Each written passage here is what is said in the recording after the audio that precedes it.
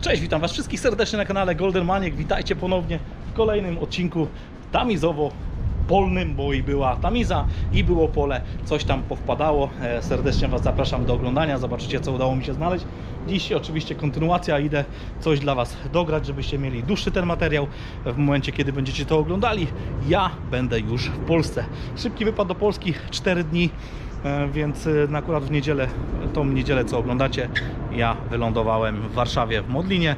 E, przemieszczę się pewno do Pabianic, szybki, szybkie zakupy, no bo remontuję mieszkanie, także szybkie zakupy w Castoramie, coś tam trzeba pokupować. No i powrót z powrotem do Anglii. E, taki jest plan. E, Co chciałem powiedzieć? Chciałem oczywiście też podziękować wszystkim, którzy obejrzeli ten ostatni odcinek z poprzedniego tygodnia. Bardzo duża frekwencja, naprawdę zaskoczyliście mnie. Ja wiem, że ten odcinek był clickbaitowy, ale o to chodziło, żeby dotarł e, do dużej ilości ludzi. E, No taki był, taki był zamiar. No, co się będę tłumaczył. Mam nadzieję, że Wam się podobało. Z tego co czytałem tych komentarzy, to już jest 500 i dużo, ale to dużo naprawdę pozytywnych komentarzy. Ludzie się ubawili, więc o to wszystko, o, o to w tym wszystkim chodziło. No dobra, kochani, standardowa regułka na hasło maniek w sklepie odyńce.pl znajdziecie zniżkę, czyli darmową wysyłkę na terenie Polski. Serdecznie zapraszam, wpadajcie. E, może jakiś wykrywacz, może jakieś inne rzeczy do kamperów, czy, do, czy jakiś odzież, coś tam zawsze dla siebie znajdziecie. Standardowo przypominam o subskrybowaniu tego kanału, komentowaniu, kliknięcia tego dzwonka, aby być na bieżąco, żeby nic Was nie minęło. A ja co? Zadzieram kiecę i lecę. Słuchajcie, lecę tutaj właśnie pochodzić, lecę sobie tam pod ten most. Może coś fajnego wpadnie, zobaczymy. No, wy to na pewno zobaczycie w tym odcinku, a ja zobaczę, co uda się znaleźć. Nie przyciągam, zapraszam do pierwszego dołka. Miłego oglądania. Hejka!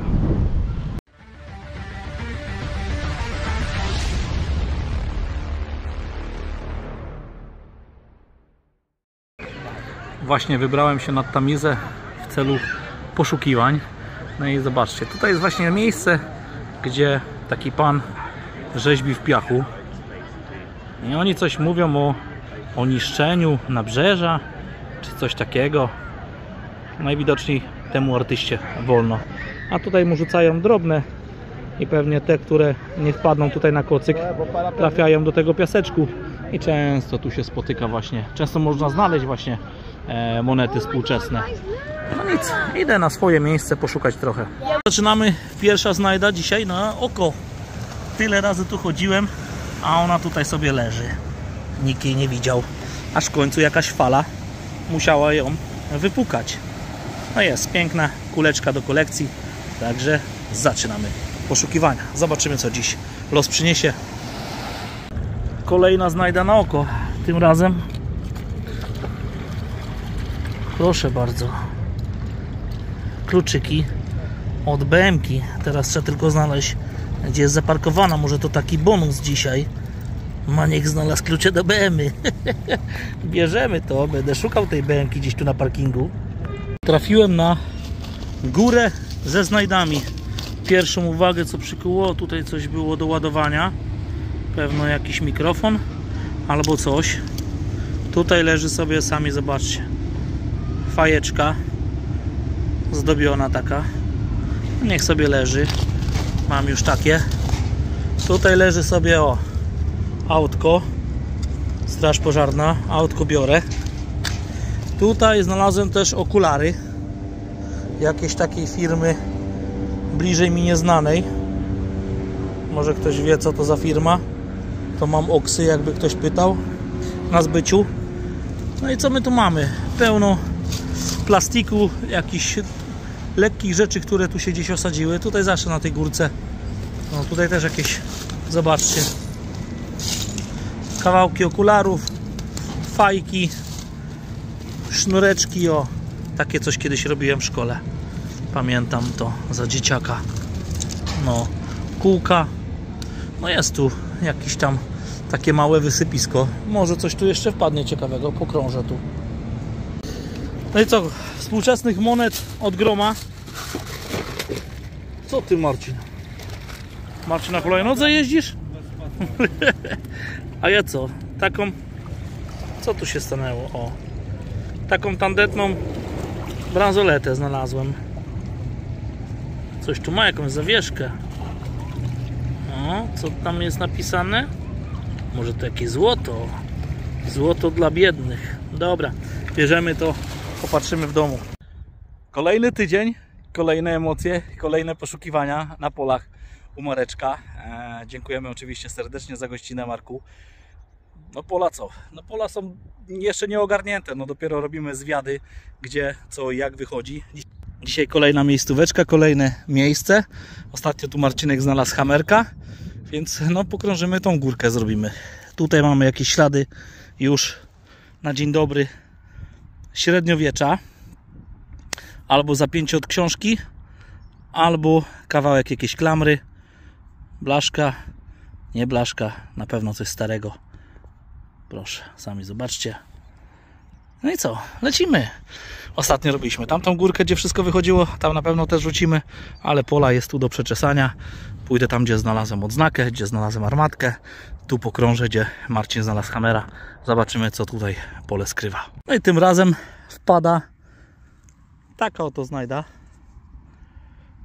Ciekawy jestem od czego to jest. Czy to jakaś nabijka?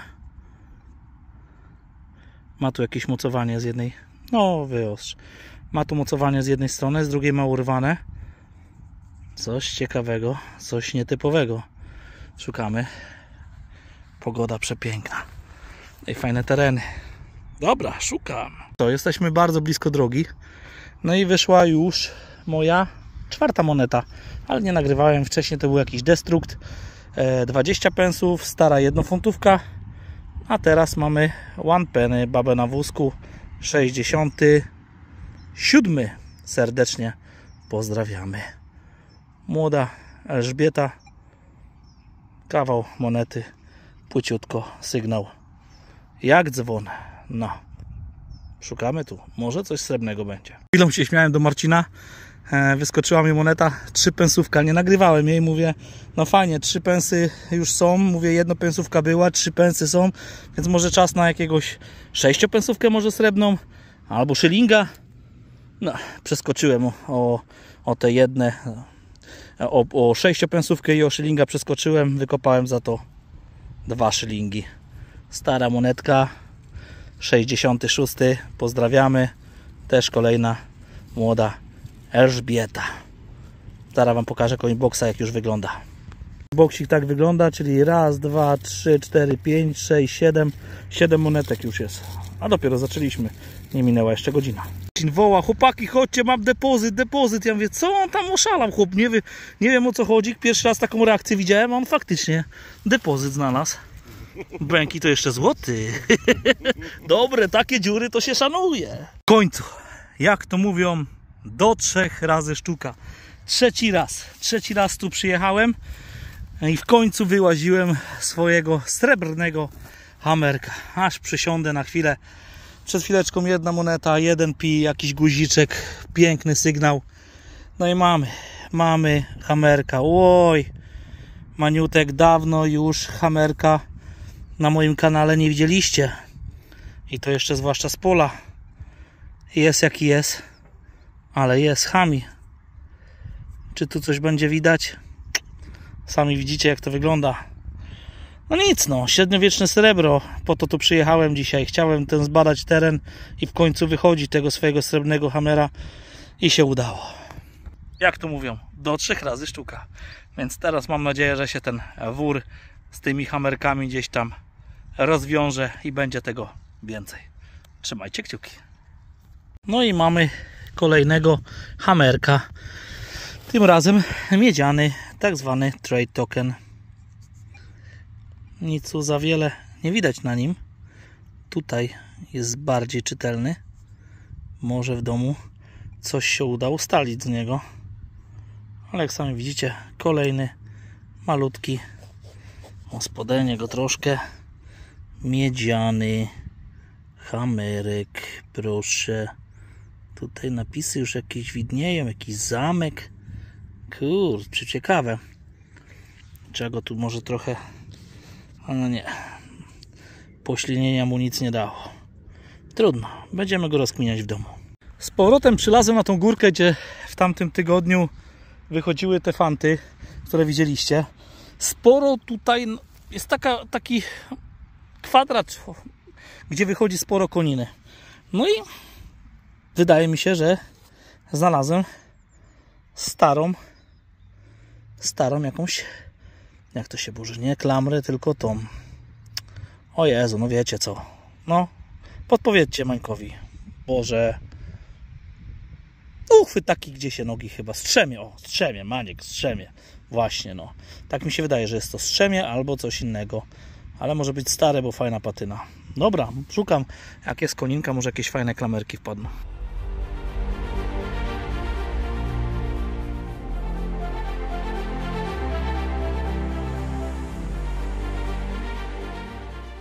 Spójrzcie na to, kochani, jaka piękna pogoda. Dzisiaj słoneczko tak daje. No jest niesamowicie ciepło. Aż jestem w szoku, że w Anglii taka pogoda. Eee, przed chwileczką wyskoczyła tu z dołka moneta 20 pensów. Czwarta z pola. Nie wiem, czy mam jakiś program ustawiony z tamizy, czy co, ale tutaj w dołeczku kolejna moneta. No i tutaj tym razem Romania 2017 rok. Proszę, 50 50 bani, 50 baniek dostałem. Mogło tu pisać Rzymek, a nie kurde Romania. Dobra, szukam dalej. Marcin się tam śmieje. Idziemy do lasku, tam wychodziły Rzymki. Kolejna moneta, słuchajcie, ale ona na wierzchu była. Na wierzchu moneta. No widać, że tu poleżała. 50 pensóweczka. Co tu się wydarzyło? Ktoś tu chyba z psiakiem może biegał, może coś i zgubił te monety, no bo to współczesne jakieś. Ale z Rumunii to mi nie daje. No to zagwozdka jest dla mnie. Powiem wam tak, no masakrycznie się złaziłem. Tam naokoło, około, tutaj idę cały czas jakąś taką grządką. Aż w końcu, w końcu wyskoczyło. Wyskoczyła moneta. Jak ostatnio liczyłem numer 16. I mamy sreberko. Kochani, mamy kolejne sreberko z tego pola. Piękne 6 pensów. I tu mamy kogo? Uuu, czy to jest... O, poczekajcie, myślałem, że to George III. A tu jakieś takie rzeczy chyba. Dajcie chwilę, zaraz wam powiem. No i tutaj mamy... No, no, no, no, ładnie wyzumuj. George'a czwartego i powiem wam szczerze, że nie mam pojęcia, czy w swojej kolekcji w ogóle mam George'a IV, czy to rzadka moneta, czy też nie. No ale piękna monetka, naprawdę w pięknym stanie. Czy tu gdzieś data się zachowała? Hmm, ciekawy jestem, dajcie chwilę. Czy gdzieś tu data jest? 1800? Widzę, 1824. Piękna moneta. Nie ujęcie widzieliście z pola ale nadal mamy ten sam dzień. Przed chwileczką jechałem tym mostem.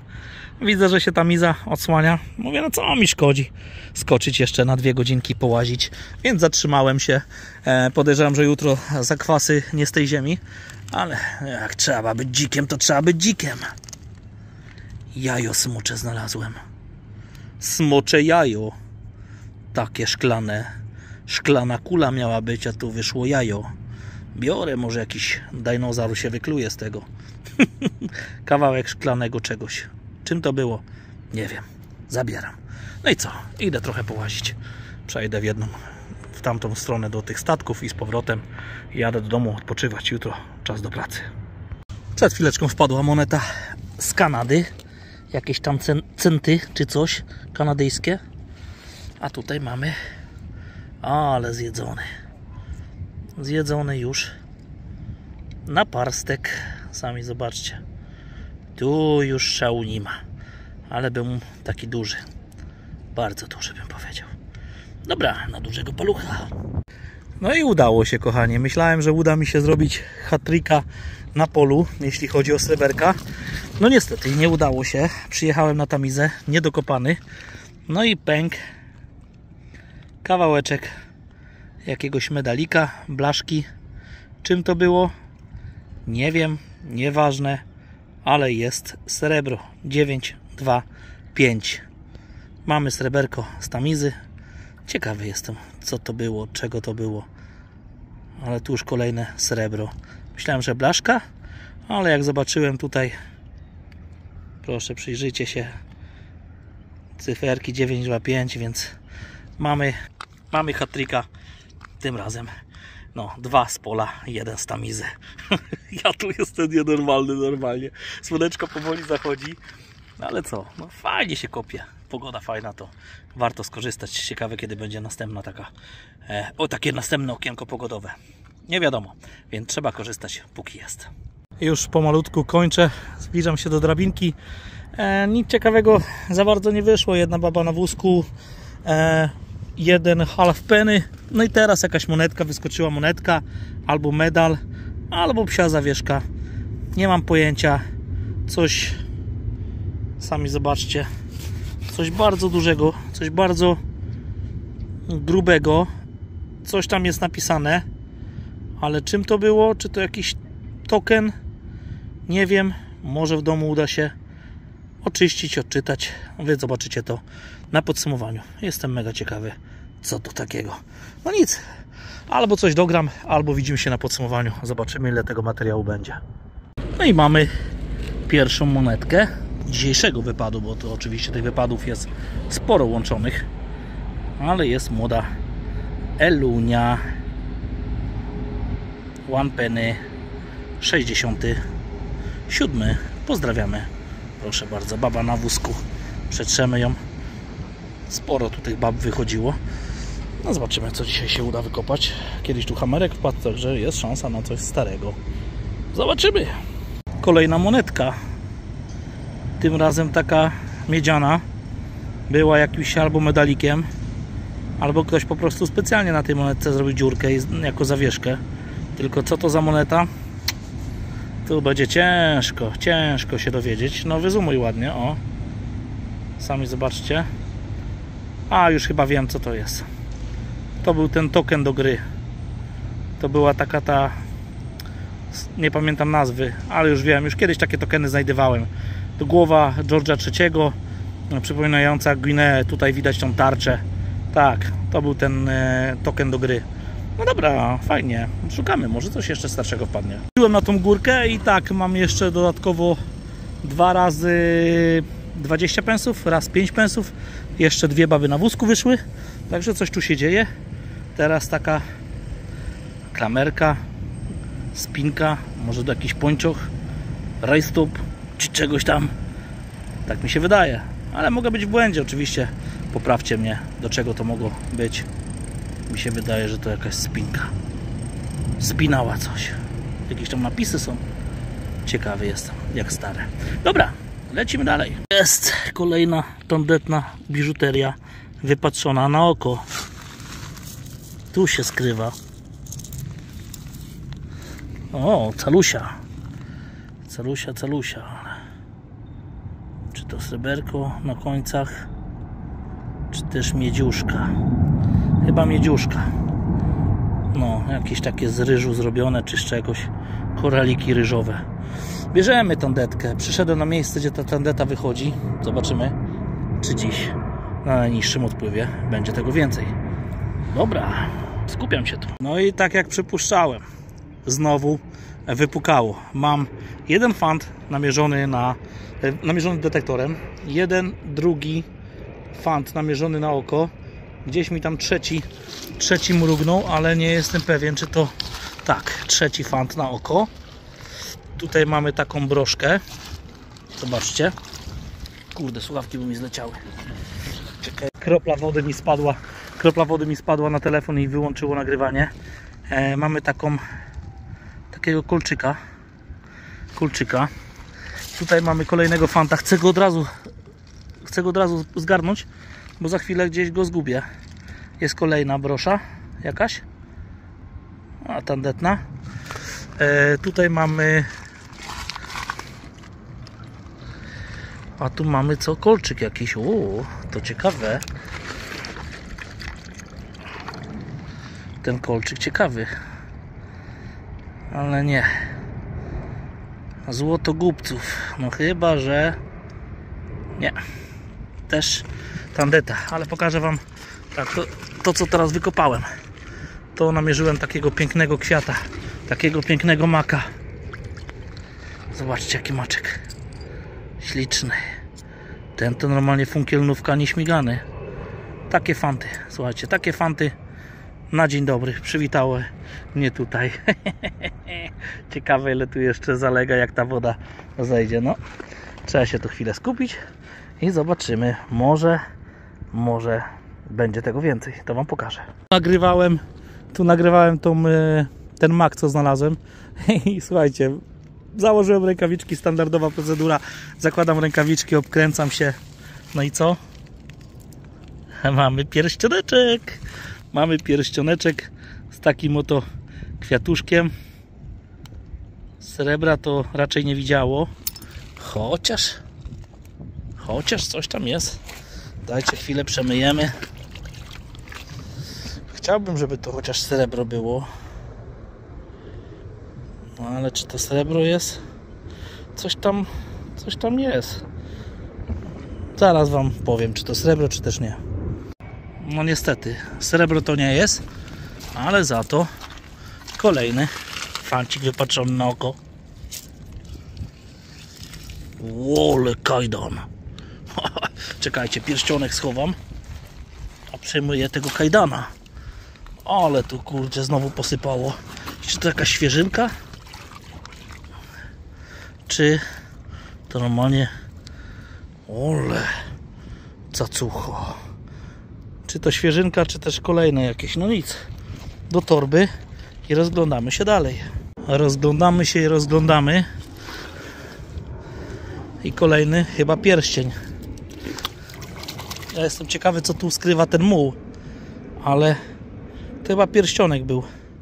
Taki z takim tym. Stracił tą perełkę.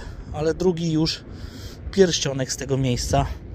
No, powiem Wam to na razie tylko mówię. Idę, idę sobie tutaj brzegiem na oko. No i wpadają fanciki. Dobra, odpalam wykrywać i szukam. Może będzie coś głębiej. No, tu już się ładnie zaświeciło. Tu już się ładnie, słuchajcie, zaświeciło. Była chwila. Była chwila radości.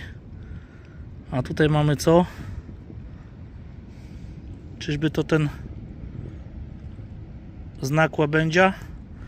kryształy Swaworskiego.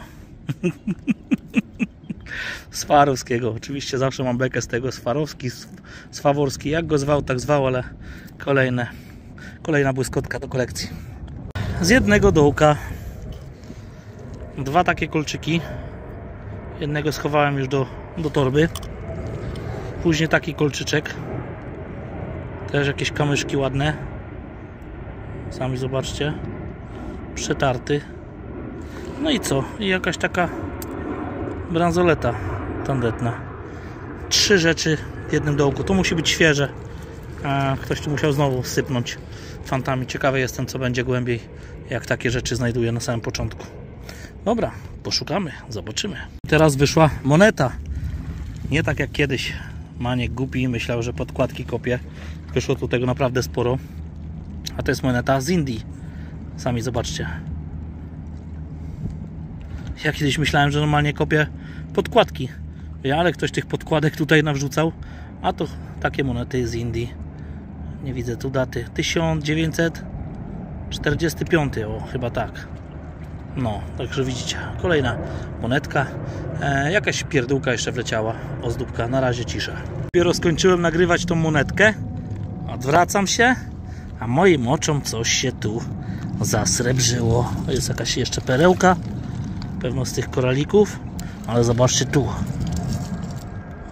Ach, to chyba, to chyba brakujące ogniwo tego, tego kurcze talerza. Ale to strasznie ciężkie jest. Może to jest srebro? Nie wiem, czy to nie jest od tego, co kiedyś znalazłem z tymi sztućcami. Możliwe, że to właśnie to. No dobra, weźmiemy, zobaczymy, sprawdzimy, czy to nie sreberko. Zupełnie inne miejsce. Dołeczek. A w dołeczku zegareczek. Zegarek kieszonkowy. Niestety srebra tu raczej nie uświadczymy. Coś tu ma jakieś. Może to głowa? Albo po prostu tak wydrapane nic takie cudo szkoda szkoda, że nie cały bo by był śliczny. Dobra, kręcę się. Coś Wam pokażę. Tu na tym kamieniu robiłem takie to ujęcie, gdzie te trzy rzeczy znalazłem e, poniżej w dołku, a wróciłem z powrotem, machnąłem nad tym sygnał obok. I patrzcie, żabka mała.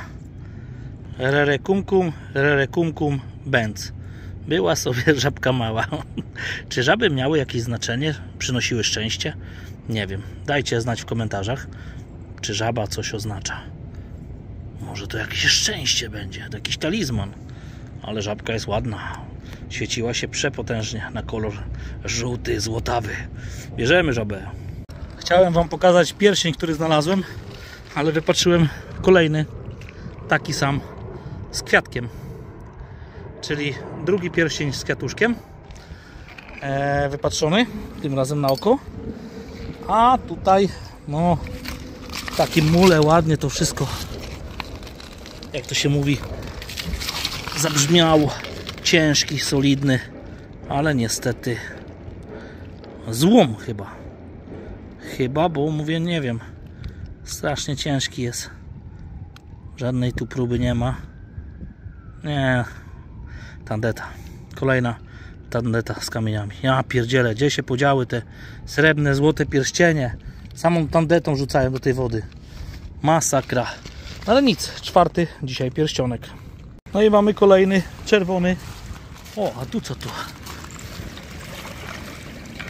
Jakieś pudełeczko. No, co to było? Myślałem, że jakieś monetki. Jakieś pudełeczko, ale tu patrzcie. Jaki piękny londyński autobus. Ciekawe, czy jemu się chyba otwiera jemu się chyba otwiera góra. Ta, albo nie, on się po prostu roztrzaskał. Ale można go złożyć. Biorę go, bo to naprawdę fajny fajny autobusik jest. Ten stary taki. Bierzemy autobus czerwony z Tamizy. Ja już sobie na tych TikToczka nagrałem filmik ze znalezienia torebki. Tak jak mówiłem, torebeczka ciężka. W środku już otwierałem też. Zaraz Wam pokażę co jest, żebyście Wy też widzieli. Tutaj na no torba pełna skarbów. Patrzcie na to. Kluczyki, okulary, jakieś panterkę. Nie znam się na tych okulara, okularach. Kamila Elpik. Elpik, Kamila Elpik. Nie znam się, może to jakieś kurcze drogie. Z drugiej strony mamy kolejne okulary i tu mamy kluczyk. Także ktoś już splądrował torebeczkę takim zestawem. No nic, idziemy szukać dalej, już końcóweczka powoli kończę, zawijam się na chatę. Coś Wam pokażę. Na samo zejście jeszcze wpadł telefon, iPhone. Wygląda na to, że działa.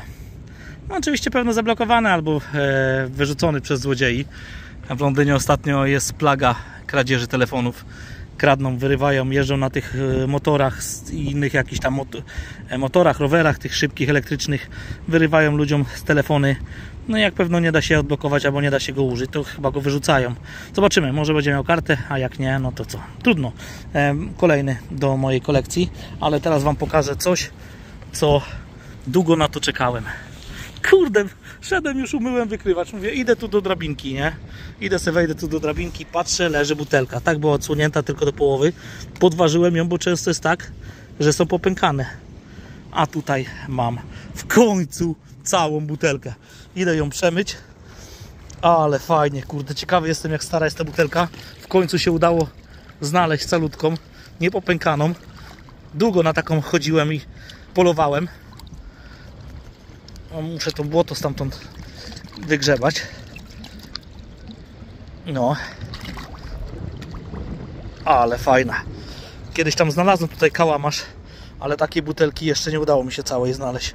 Kuba, serdecznie Cię pozdrawiam. On jest mistrzem w znajdywaniu takich buteleczek. Tam coś, kurde, jest pewna jakaś glina jeszcze, albo coś. No nic. Zabieram ją do domu. Będzie się fajnie prezentowała w gablocie. Piękna znajda. No i standardowo podsumowanie ołowiu i miedziuszki nie zabrakło i w tym odcinku dużo się tego uzbierało. No i dobrze, dobrze, teraz te lepsze fonty. No dobrze, zaczynamy podsumowanie. Łącznych wypadów było 5. 4 razy na tamizę, 2 razy Wandsworth, 2 razy centrum i raz pole u Marka. Przedmiot, który znalazłem na tamizie, który widzieliście, faktycznie pasuje do tego, do tego czegoś posrebrzanego. Wkręca się, jednak to było od tego. Przechodzimy dalej. Tandetna bransoletka. Samochodzik jeden, drugi, autobus trzeci. Kluczyki do BMK. Niestety BMK nie znalazłem. Właściciela również. E, okulary. Tutaj mamy jakieś oksy. Nie znam tej firmy. Nawet nie miałem czasu sprawdzić. Kamile też gdzieś tam znalazłem. Też coś koło 20-30 funtów takie okulary. Ale kto to taką panterkę będzie nosił. Do tego jajo, które widzieliście e, po tym jak zjechałem z pola na Wandsworth, znalazłem takie szklane jajo. Może to była, może było po prostu więcej tego, tego czegoś szklanego, to tylko została taka resztka. No, zegarek, sami widzicie w jakim stanie wszystko wyłazi, rozla, rozlatuje się. Monet współczesnych, które no, sami widzicie jak wyglądają, jest naprawdę tego sporo. No i przechodzimy dalej. Tu mamy guziczki, wszystkie tamizowe guziczki monet współczesnych, 16, ponad 16 funtów, prawie 17 funtów wszystkiego. No i tutaj mamy tak, i half peniacze, one peniacze, tutaj jakaś zawieszka, chyba jakaś od kluczy, chyba od kluczy, tutaj nie wiem do czego ta klamra, na parstek, monety ze Stanów, monety, o tu jest jeszcze 10 groszy, monety z Polski, bo mamy tutaj 2 zł, 10 groszy i 1 grosza, starego funta, 6 pensówki, eurocenty, mamy 50, 67, nie, więcej, euro, 1 euro. E, tutaj mamy eurocenty, e, jedna druga centa, monety kanadyjskie. Tutaj fajna taka moneta, może gdzieś do wózka, coś takiego. Nie miałem czasu jeszcze tego sprawdzić, ale fajnie się to zabłyszczy, czało. Banie, e, tutaj zobaczcie, fajna tutaj 50 bani też znalazłem e, i znalazłem u Marka na polu 50 bani. Jak znalazłem jedną, tak później na tamizie jeszcze dwie wyskoczyły. Znaczy, jak sami widzicie, monet od groma. E, no dobra, ostatni wypadł na tamizę i zaowocował takim oto telefonem. Prawdopodobnie jest to iPhone 13, iPhone 14. Jeszcze go nie włączałem. Będę szukał właściciela. Butelka. Buteleczka przepiękna, jak sami widzicie. Jest to 1800-1900 rok. Fajna, tutaj tylko delikatnie uszczerbiona, no ale i tak zachowała się naprawdę w tym mule tyle czasu. Niesamowicie to wygląda. Bardzo mi się podoba, długo na nią czekałem. No i do tego przechodzimy tamizowa tandeta. Tamizowa tandeta, e, tego nie nagrywałem. Tutaj jakieś bransolety, naszyjniki, kolczyki, e, broszki. Ten mak ładnie wygląda. Żaba. Do tego mamy cztery pierścionki, kolczyki. No i tutaj jeden sprawdzany oczywiście kwasem, jeszcze się odbarwiło. Ten kolczyk srebrny, czyli trafi do mojego złomu srebrnego. Tak się prezentuje cała ta tandeta z tamizy. No i teraz szybki, szybkie przejście na pole. Na polu u Mareczka, no to tą ostrogę, tak mi się wydaje, że jest to ostroga. E, do tego monetek też sporo, 2, 4, 6, 8, 10, 12, 12, 16, 18, 19, 20, 21 monet, a przepraszam, tu mam jeszcze jeden przedmiot z tamizy, który odłożyłem, 9,5 sreberko, to był ten e, wypad zaraz po polu, czyli hat-trick sreberkowy, e, trade tokenik, nie udało mi się jeszcze go ustalić, muszę trochę dłużej pogrzebać, muszę w ogóle znaleźć więcej czasu na to wszystko. E, hamerek, niestety totalny zajazd, nic tutaj nie udało mi się też ustalić. No i chyba fantem tego wypadu uważam tą monetę ze względu na to, że rzadkość występowania na kopaniach to moneta naprawdę nie wychodzi zbyt często. Ja czekałem na swoją 8 lat, także możecie sobie zdać sprawę, że nie jest to e, częste znalezisko, jeśli chodzi o poszukiwaczy. Rozmawiałem z kilkoma poszukiwaczami, jeszcze na przykład George'a IV nie znaleźli. Mi się udało chyba znaleźć tylko w brązie jakiegoś halfpenny, e, tak tak, z, z, brązu mam, ale srebra jeszcze nie trafiłem. Sześciopensówka, no mega. 8 lat czekania, aby taką monetkę znaleźć. Także sami widzicie, kochani, było tych, tych wszystkich sygnałów, było tego kopania mnóstwo. Fajna zabawa. Mam nadzieję, że Wam odcinek się podobał. Sami zobaczcie, ile tego wszystkiego, jeszcze raz tutaj prześledzimy, ile tego wszystkiego jest. E, więc jeśli Wam się podobało, dajcie znać w komentarzu, zostawcie łapkę, subskrypcję No i tyle z mojej strony. Widzimy się w kolejnym odcinku. Na razie, hejka.